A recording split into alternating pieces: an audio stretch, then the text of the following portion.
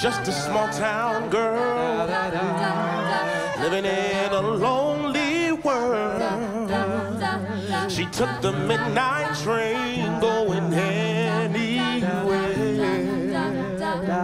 Just a city boy, born and raised in South Detroit. He took a